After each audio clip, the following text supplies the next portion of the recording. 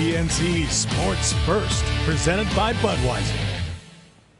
Hey, good evening and Hafa Adai. Today, all about the Matao. The Guam national soccer team is out in Harmon taking on Oman for first place in Group D of the FIFA World Cup qualifiers.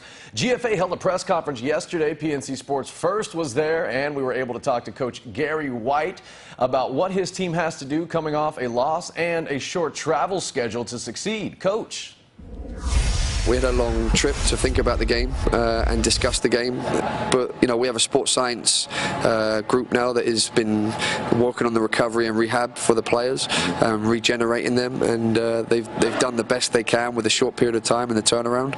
Uh, and but it's the same for Oman. It's not just us. You know, they've played a game and had to travel too. So uh, it's just very tough for every team uh, in how AFC have set up the the qualification with the limited time between games.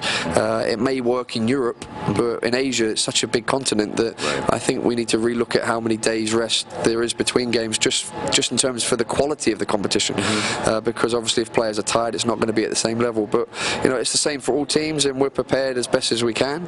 Uh, we've had great support from the federation in Guam uh, and the people of Guam. So you know, we're happy to be at home. I think being at home is going to give us an extra boost uh, that maybe we wouldn't have got if we were away for this for this next game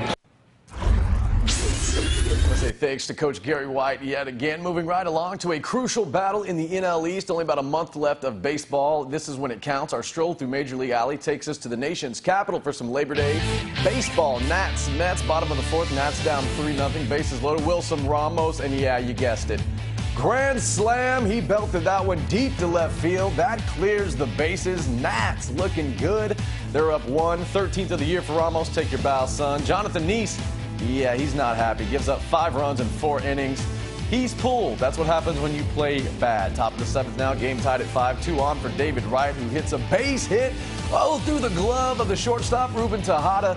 He's rounding the bases, trying to score. The throw home. Oh, no. Escobar can't hang on. Tejada called safe. Mets take a one-run lead later in the inning. Yoenis Cespedes at the dish. He singles to right field.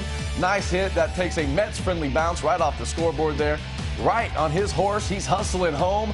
The throw, it's not in time. He's called safe. One more look because it was oh so sweet. Check it out. It's close. Sliding in on the outside corner. Gets the base. There's the tag. Just a little too late. Mets get another one.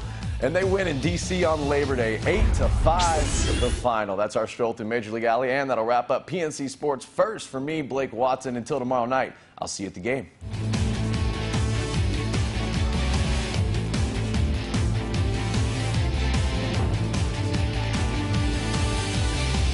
PNC Sports First, presented by Budweiser.